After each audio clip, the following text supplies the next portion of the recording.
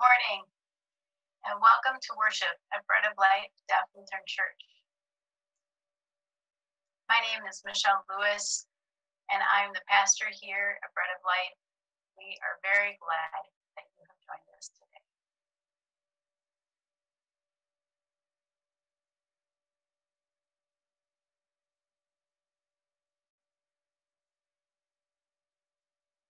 Good morning. My name is Dorothy Sparks. I'm a deacon here at Bread of Life. Welcome.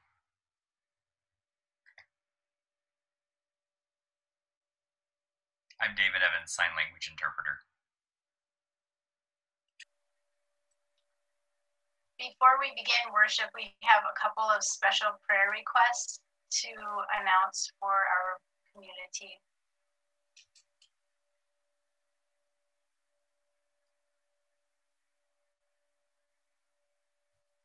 Our interpreter, Wendy DeVore, has been interpreter with Bread of Life for a long time. Recently, her father died, and we ask that you will pray for Wendy and her family.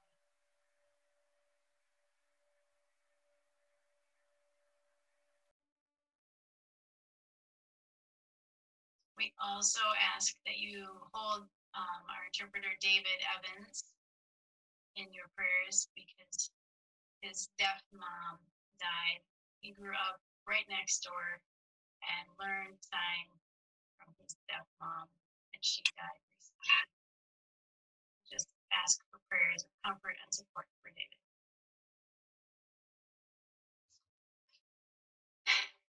We enter into worship amazed and awed that God continues to gather us.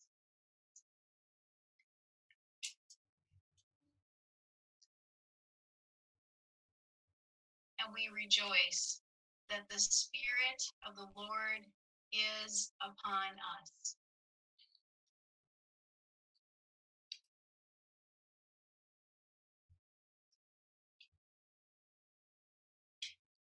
The Spirit of the Lord is in us. That Spirit anoints us and sends us out.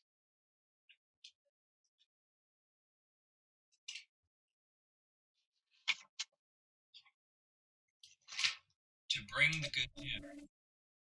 What is the good news?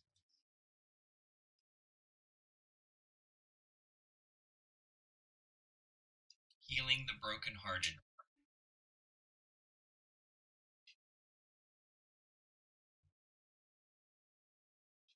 Freeing the captive.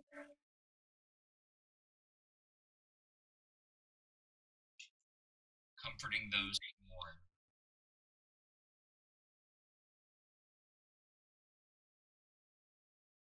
providing a cloak of praise. Lifting the heavy spirit. Loosening the weight of grief and loss.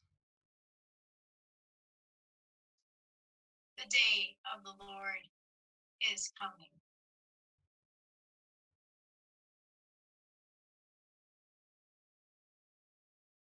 The day of the Lord has come.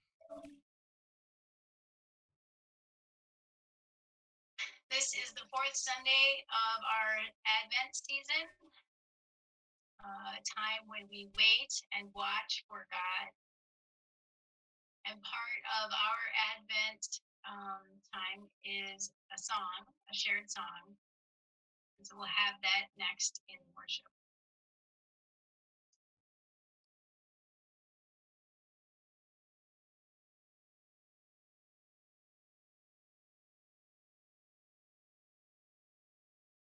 We light a candle for hope and a world that's longing for hope.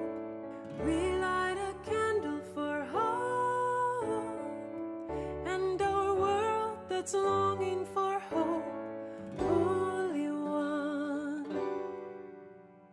shine with the fire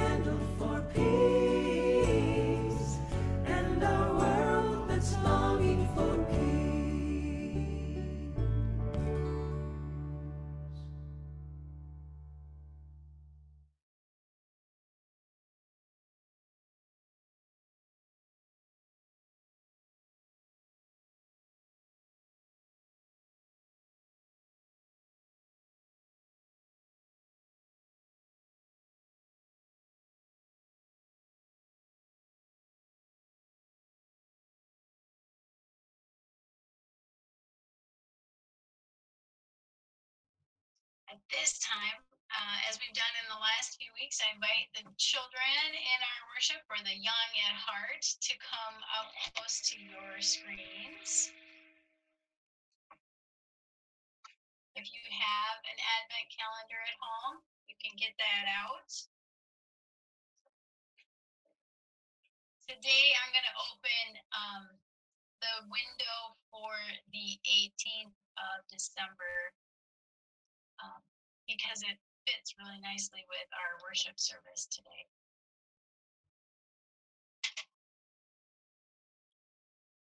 The 18th is right there.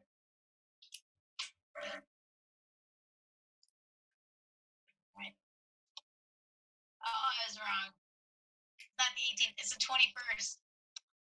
Whoops. the 21st.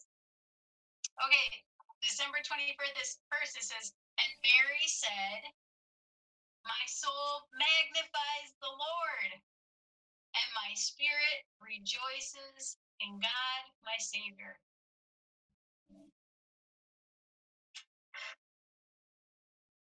That verse comes from the Gospel of Luke, chapter 1, and it's two verses. It's verse 46 and 47.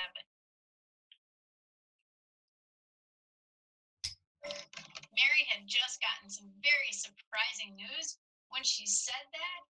And sometimes it happens for us too. We get news that is unexpected and very surprising.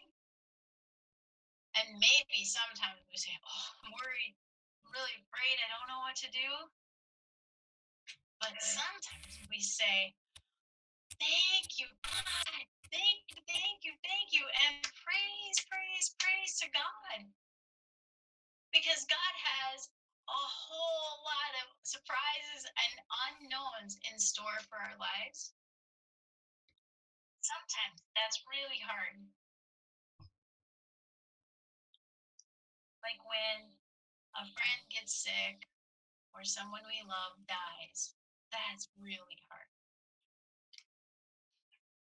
Sometimes when life is full of unexpected things, it's really exciting and really fun.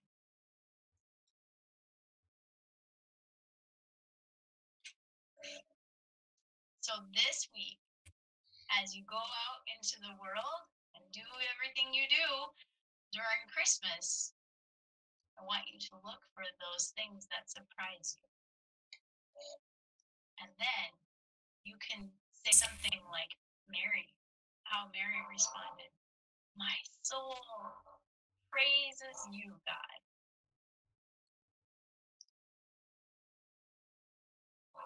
Okay, I want you to stay close to the screen because we're going to light the candles really soon.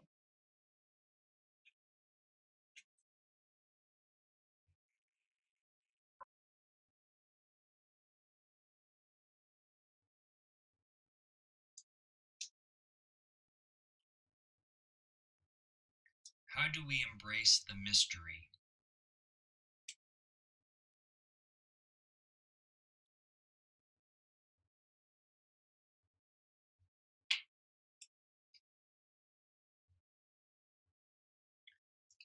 We remember Mary, anxious and uncomfortable,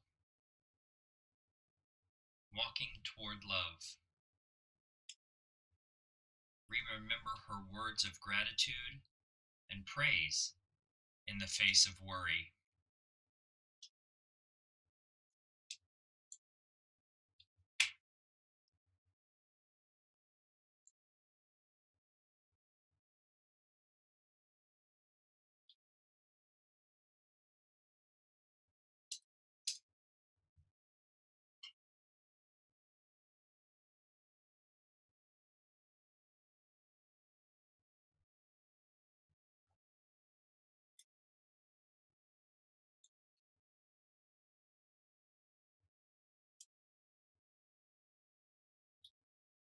How do we embrace the mystery?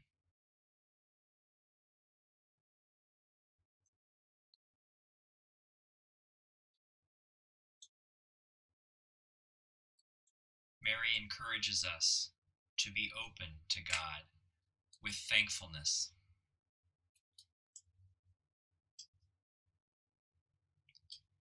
Today, the fourth Sunday of Advent, God meets us in the mystery. Thanks be to God.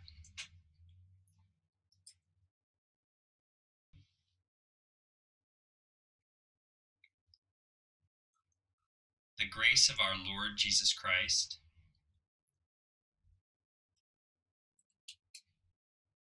the love of God, and the communion of the Holy Spirit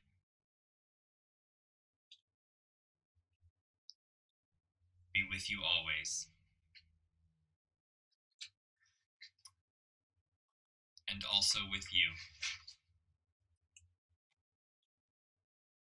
Prayer for the day.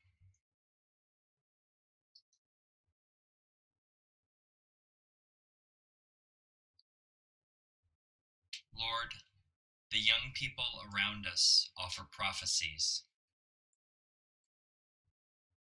that challenge and lead to our judgment.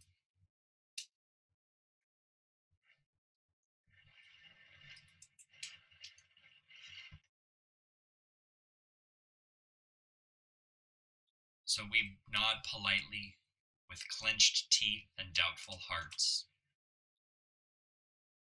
Lord, you invite us to dream new dreams.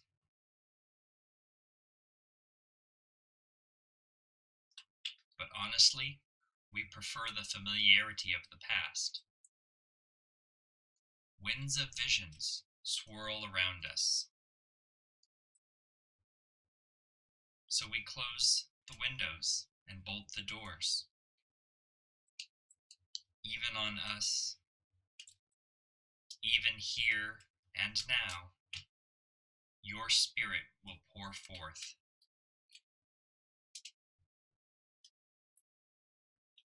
Come, Holy Spirit, come.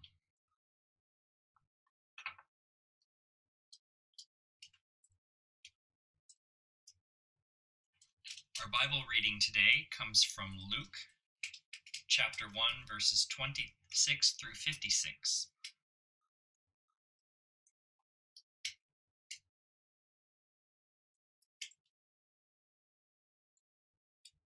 During Elizabeth's sixth month of pregnancy, God sent the angel Gabriel to a virgin girl who lived in Nazareth,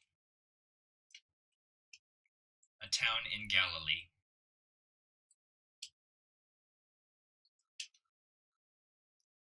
She was engaged to marry a man named Joseph from the family of David. Her name was Mary. The angel came to her and said, Greetings, the Lord is with you. You are very special to the Lord. But Mary was very confused about what the angel said. She wondered, What does this mean?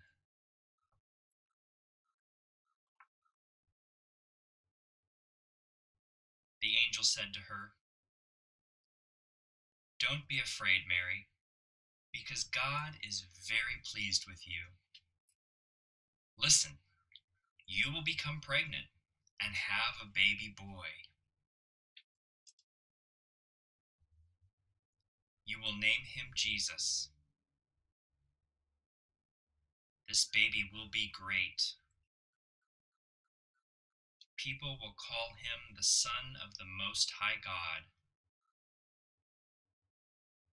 And the Lord God will make him king like his ancestor David. He will rule over the people of Jacob forever. His kingdom will never end.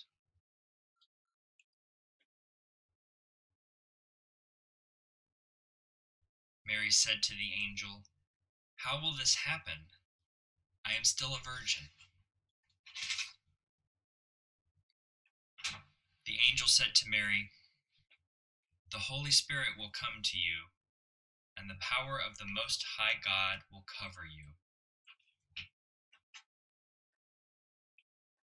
The baby will be holy and will be called the Son of God. And here's something else your relative Elizabeth is pregnant. She is very old, but she is going to have a son. Everyone thought she could not have a baby. But she has been pregnant now for six months. God can do anything. Mary said, I am the Lord's servant. Let this thing you have said happen to me. And then the angel went away. Mary got up and went quickly to a town in the hill country of Judea.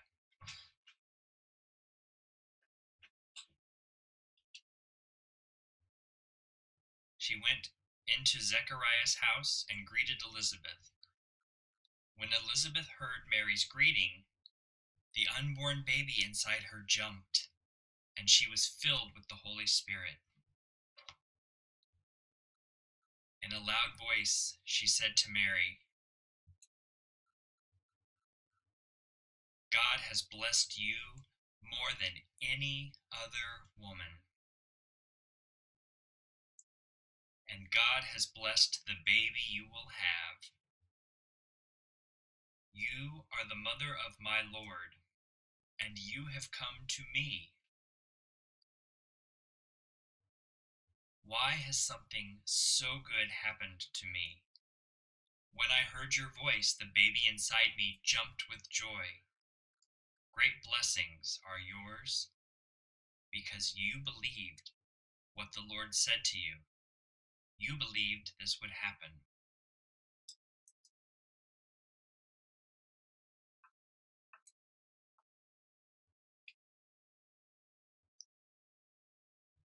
Then Mary said, I praise the Lord with all my heart.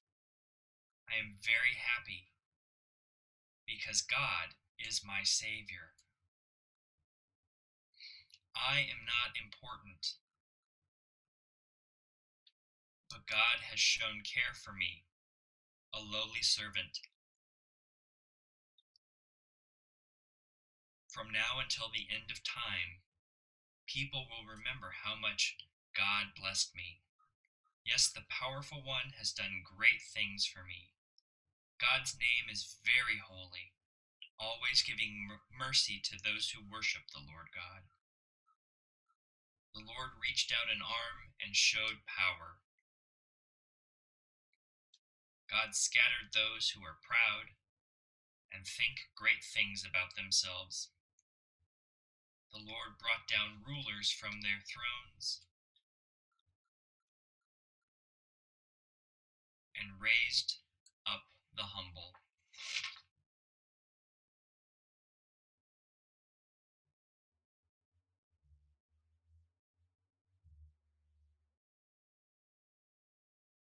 God filled the hungry with good things but sent the rich away with nothing.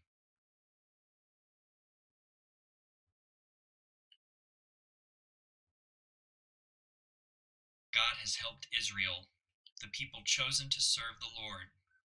God did not forget the promise to give us mercy. The Lord has done what was promised to our ancestors, to Abraham and their children forever.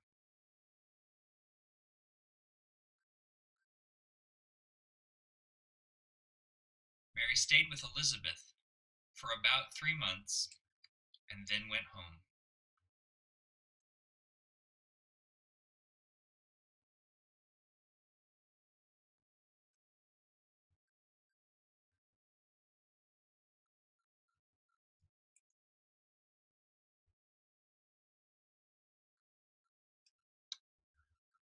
For today's sermon, I want to talk about gifts around the Christmas tree.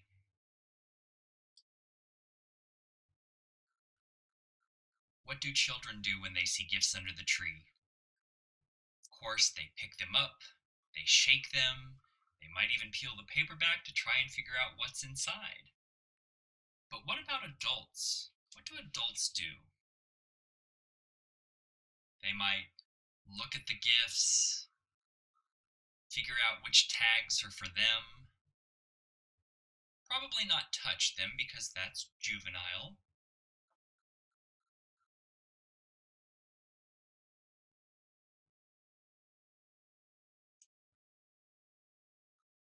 Gifts are like mysteries. And so today, I want us to focus on mystery.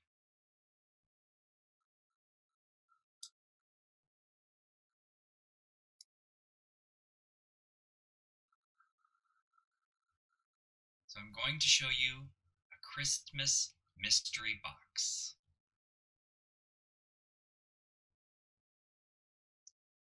Curious about what's inside?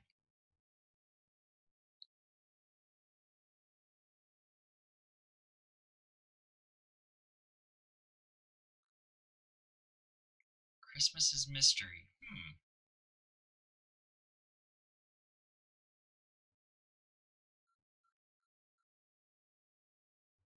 Put that up here so we can remember it during the sermon.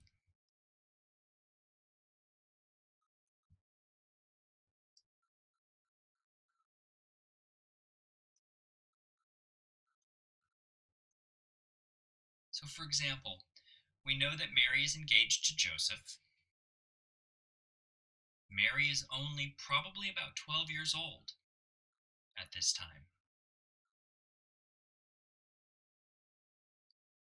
Mary is not a queen.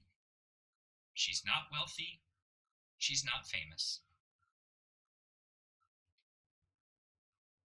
Back in that time, boys went to school, but girls did not.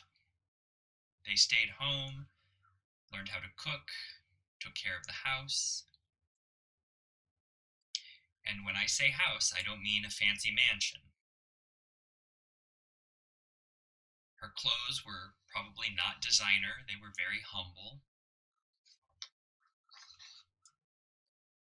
And yet, God chose her to become the mother of baby Jesus.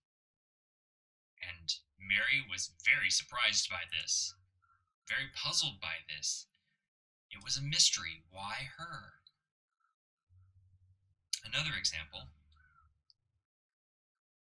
Zechariah and his wife Elizabeth are both elderly. They're past the age where they can have children. And yet, the angel informed Zechariah that his wife Elizabeth would have a son. Zechariah was puzzled by this because it was a mystery.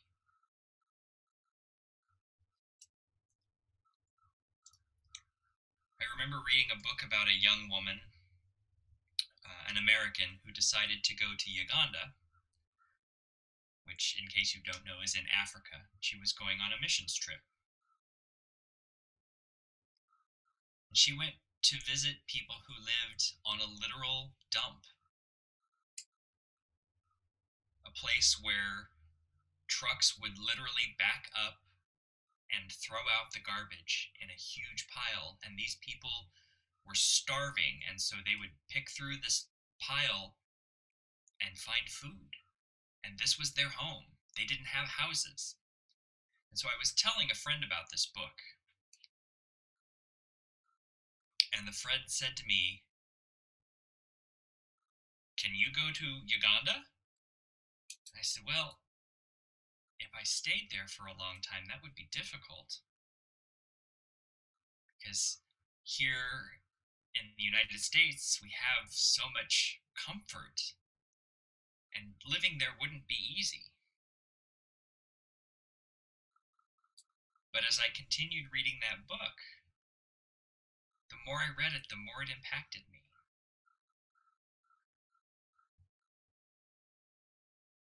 And I realized that before God created the world, Jesus was with God.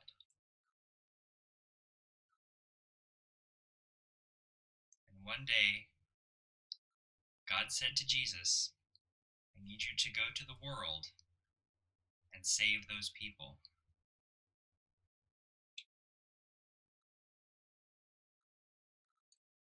To Jesus, coming to the world, coming to the earth, was essentially like coming to a garbage dump because we were dirty with sin.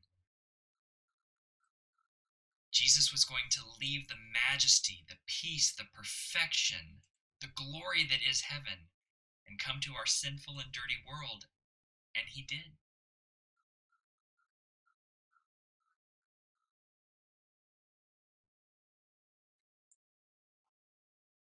What did Jesus know?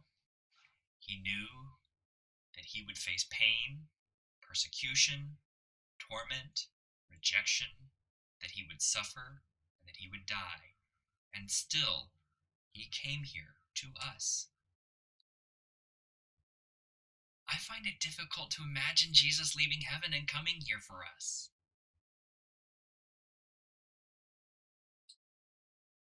And when Jesus got here, he wasn't born in a fancy hospital. He was born in a barn. He wasn't born on a soft bed. He was born in a trough, a manger.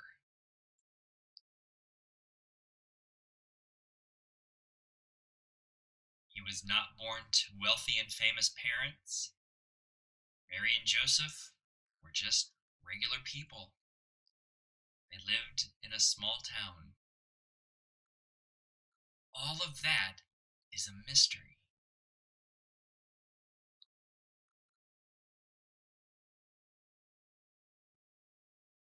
So, why did God make Christmas a mystery? God could have made Christmas really simple, easy to understand, clear, but God didn't. And what is a mystery exactly?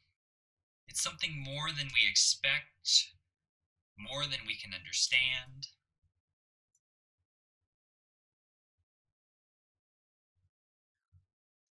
Sort of like a present sitting under a Christmas tree. We don't know what's inside the box until we open it, and then it's no longer a mystery to us.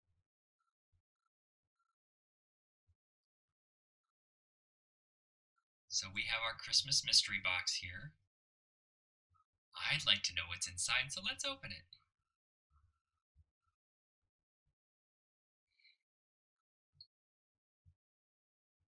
We have approval and we have acceptance.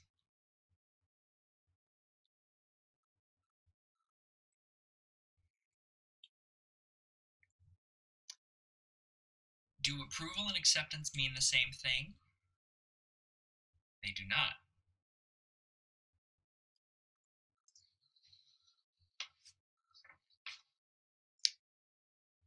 When I came back from visiting Nigeria, I flew back to the States and had to go through customs with my passport. They looked at my passport, they asked me some questions, and then they gave me approval to enter the country, to return home. Another example when I was looking at buying a new car, I had to check out a number of cars before I finally approved which one I was going to buy. If somebody's interviewing for a job, the person who's evaluating their skills has to approve them before they get hired for that job. So those are example of approval.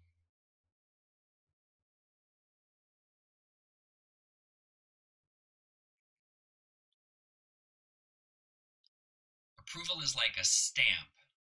It's a seal that says, this is okay.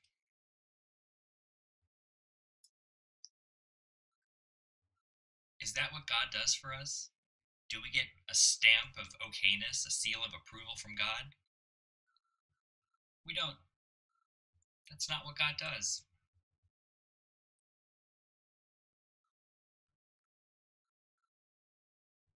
For example, Jesus knew that the earth was full of sin.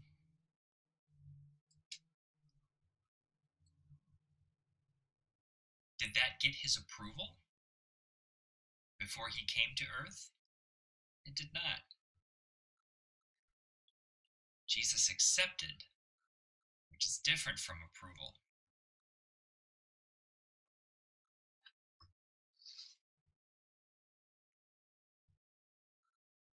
That's very different.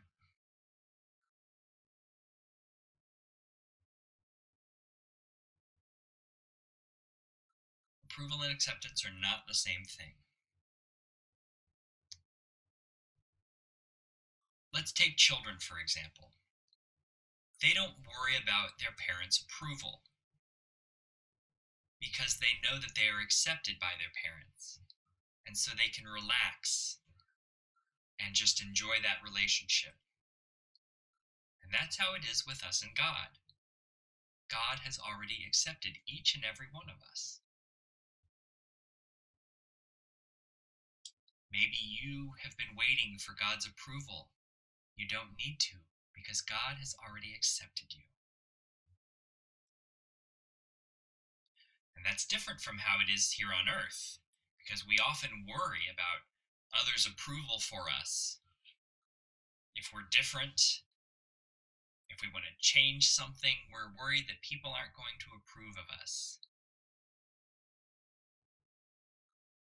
And so oftentimes we do, say, and act in specific ways to get the approval of others. And oftentimes people worry about getting God's approval. But I'm here to tell you, we don't need that because God has already accepted us. I, for one, am really happy about that news. Because if we had to get God's approval, then it would take so much work and action and sweat in order to meet the standards. If you know Martin Luther, he was one who constantly worried about God's approval of him. He spent so much time on his knees, crawling before his Creator, doing and saying what he thought he needed to do and say to get God's approval until one day, when reading the Bible, he realized that he had God's grace, which meant that God accepted him.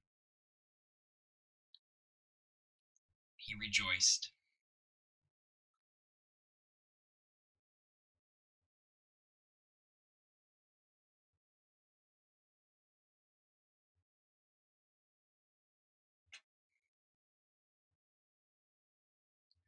Now, how do we know that God accepts us?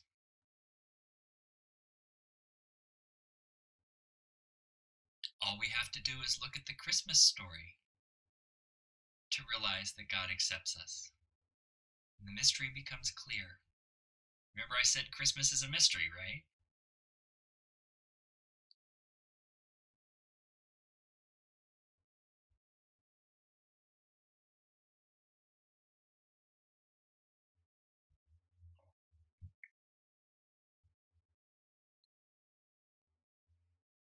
Changing Christmas is a mystery to Christmas is for you.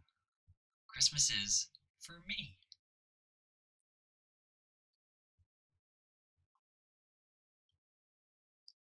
The Christmas story isn't just something that we tell around this time of year because it's a beautiful story, but it's actually for us and demonstrates God's acceptance of us. It means that God accepts us no matter what we've done, no matter where we've been, no matter who we've been.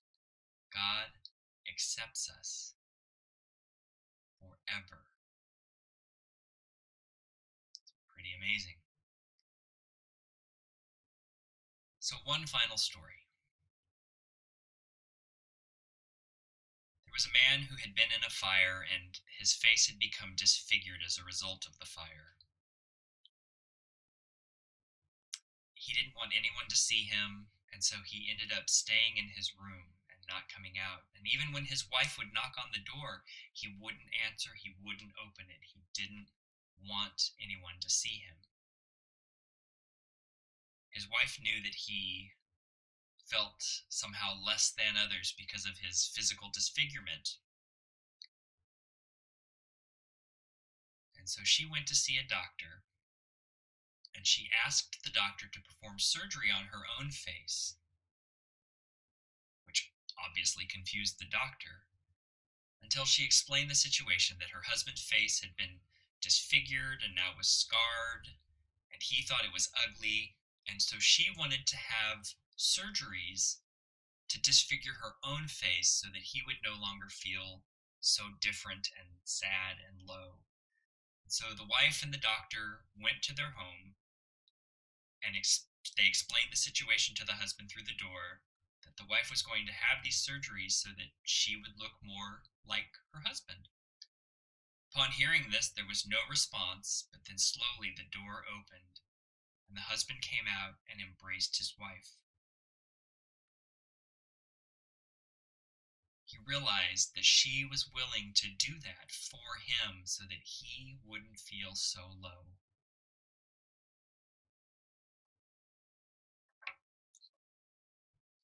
That's what Jesus did for us.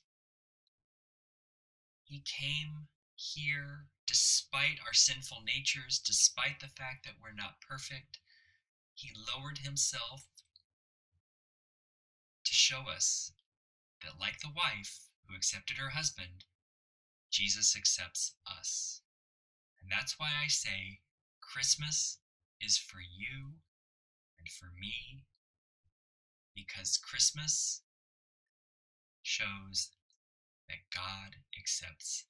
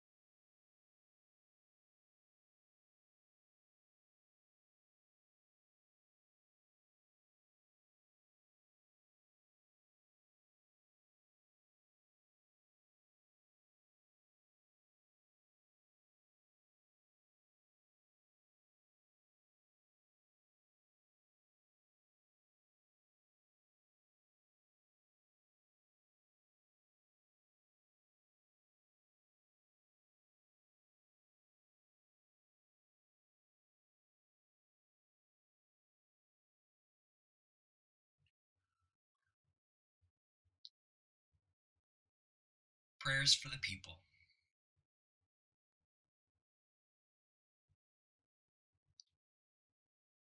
Advent God, you come to us in hope, love, joy, and peace. Thank you for the hope that includes others in faith. Thank you for love that sustains our lives even in uncertain times. Thank you for joy that illumes and inspires our lives. Thank you for peace that allows us to live in friendship with others.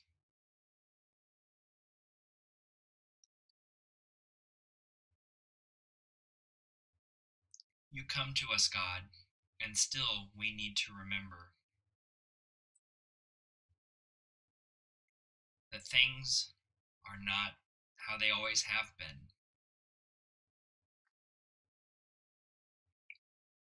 And this is not how it always will be.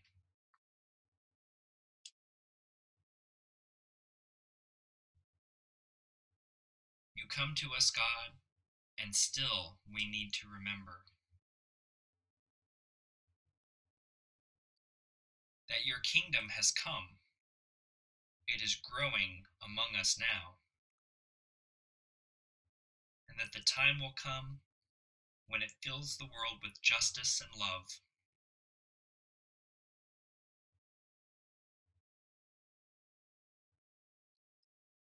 You come to us, God, and still we need to remember that many people experience poverty, pain, trauma, and grief. These experiences make your kingdom feel like a faraway dream. Many people are dismayed by your followers. They long to see your love and justice expressed through your followers. And we followers often make mistakes and fail. Many people in your church long to be faithful and to make a positive difference. A positive difference in addition to caring for their children, their extended families, their students, their jobs, and many more responsibilities. You come to us, God, and still we hope. In Jesus' name we pray. May the peace of the Lord be with you always.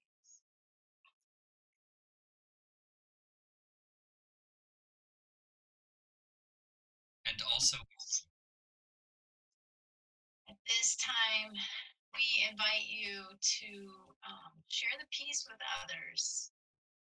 Often in the last months, um, I've encouraged you to text or maybe send a card or write an email message. But you could also share the peace by praying for others. So, in these minutes here, you can bring to your mind another person who needs and pray for that person to experience calm and peace.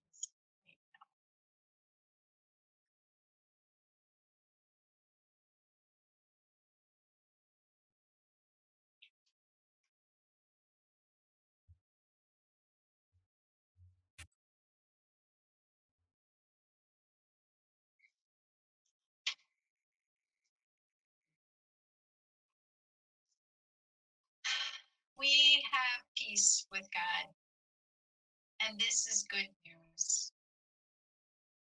And so it is our prayer that our lives and all of our resources, our talents, our skills, our interests, and our money, that we would use those gifts to share God with others, just like Mary did. After the angel came to Mary with this surprising message, her response was to praise the Lord, to rejoice in what God does, and to say, "Oh, God remembered me, a humble servant.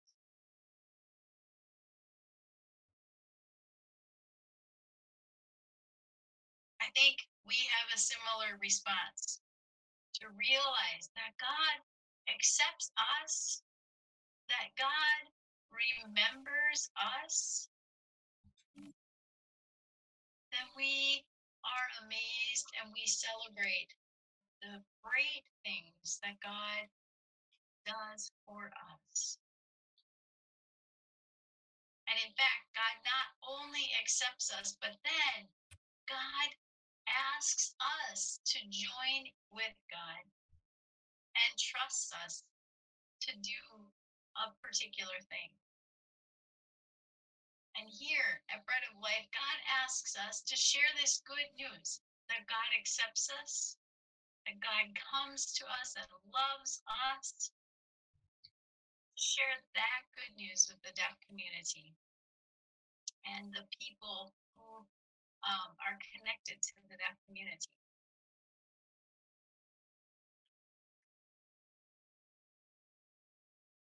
So we invite you to join us in this calling.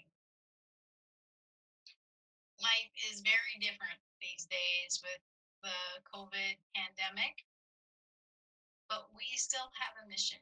God still calls us to work. God still calls us to share this good news. We can continue in our mission. And we do.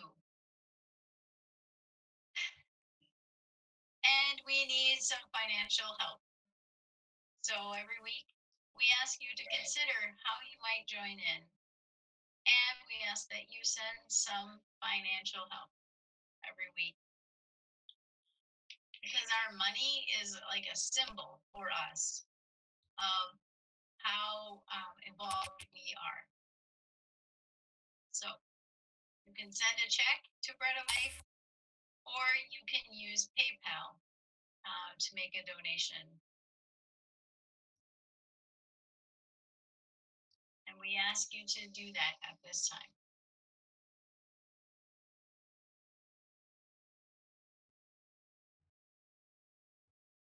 An offering prayer.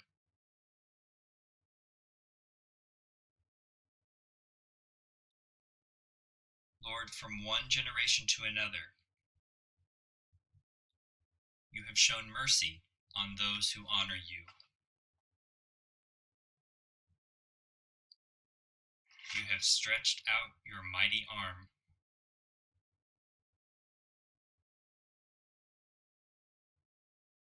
You scatter the conceited and confuse their schemes.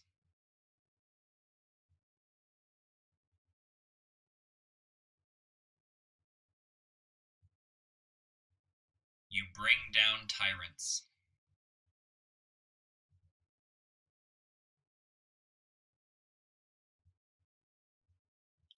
And lift up the lowly.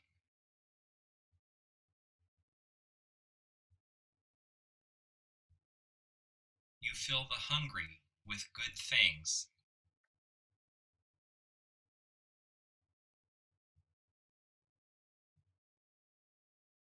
But send the rich away empty.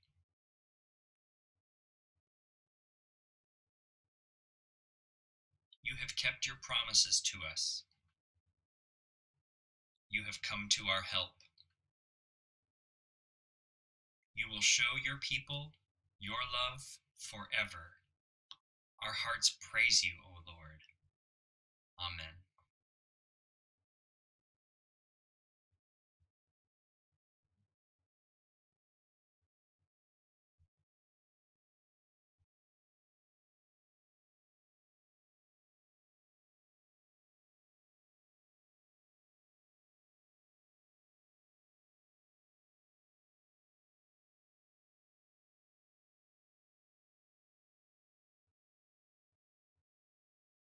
The Lord be with you,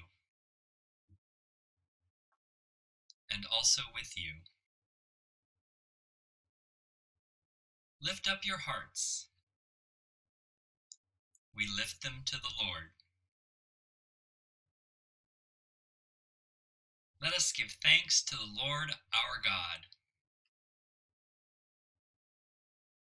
It is right to give God thanks and praise.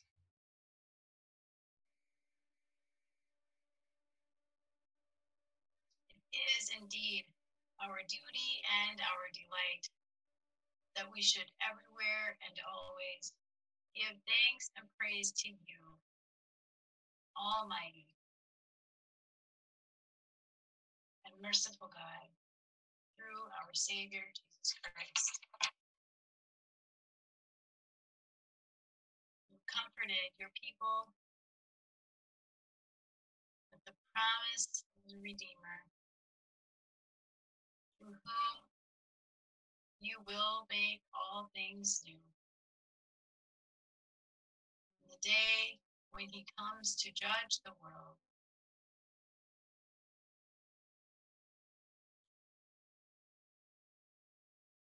in righteousness, you will make all things new. And so, choirs of angels, the church on earth,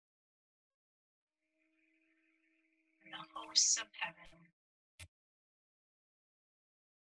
together, we praise your name and join their unending hymn. We invite you to join the Holy Holy with us. This will not be voiced.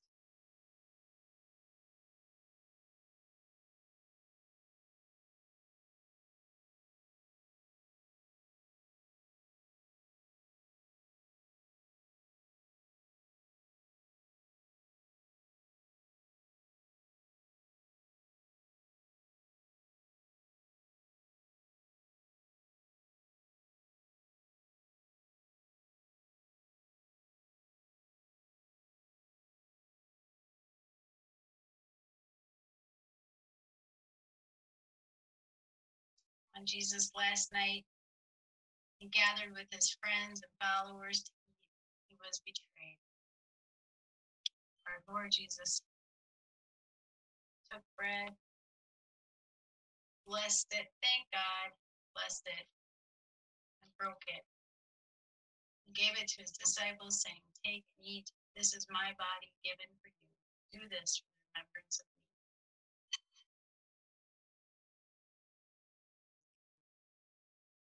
Again, after supper, Jesus took the cup, blessed it, thanked God, and gave it for all to drink, saying, This cup is the new agreement in my blood, shed for you and for all people for the forgiveness of sin.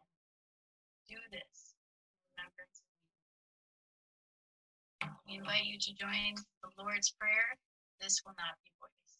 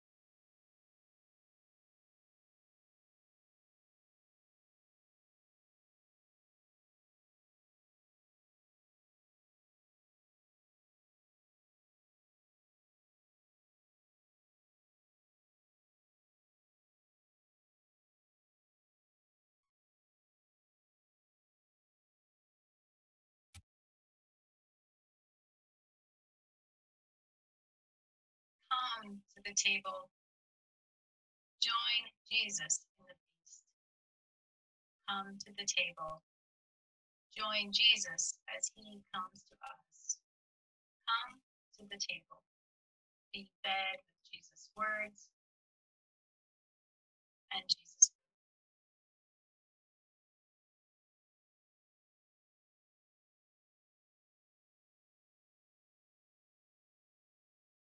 You all are invited to this table. For this table belongs to God. We are honored to share it with anyone who desires to feast. When you serve one another, use language something like this with the bread, this is the body of Christ given for you.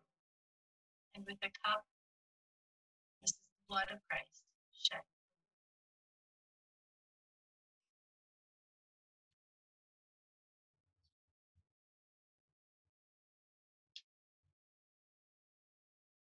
And if you are by yourself, I will administer the bread and the cup to you.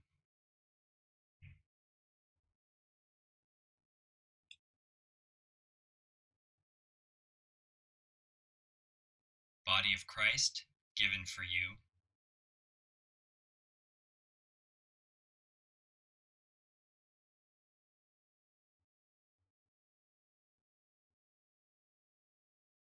Blood of Christ, shed for you.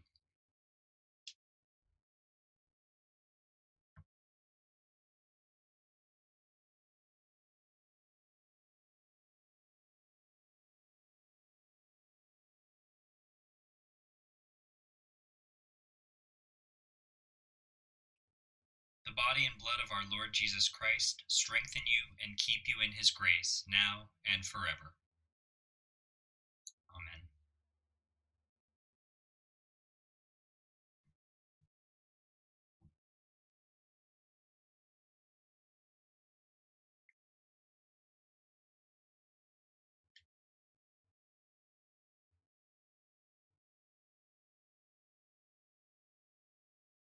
God of grace and glory, you call us with your voice made visible in flame. You call us to be your people, faithful and courageous. Jesus embraced his mission in the waters of baptism. He went out to feed, heal, and comfort others. Lead us now from this gathering, fed and encouraged, to join in your transforming work, to feed, heal, and comfort others. We ask this in the name of our Savior, Jesus Christ, who lives and reigns now and forever Amen.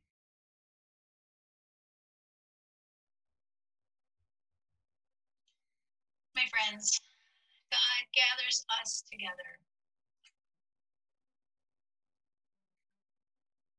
And God sends us from this place. As you go today, receive this blessing.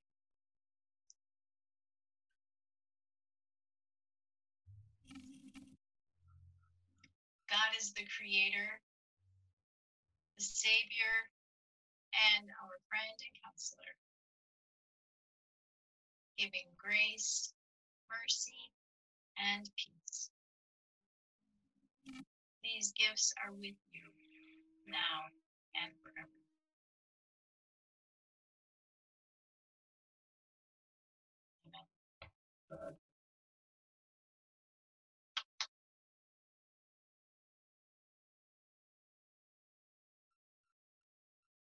God, in your word, you promise that your servants will go in peace.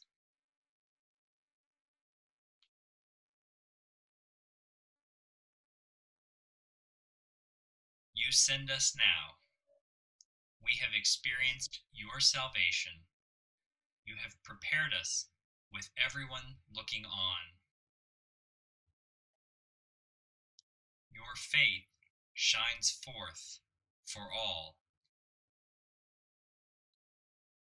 Your glory is revealed even in faithful people.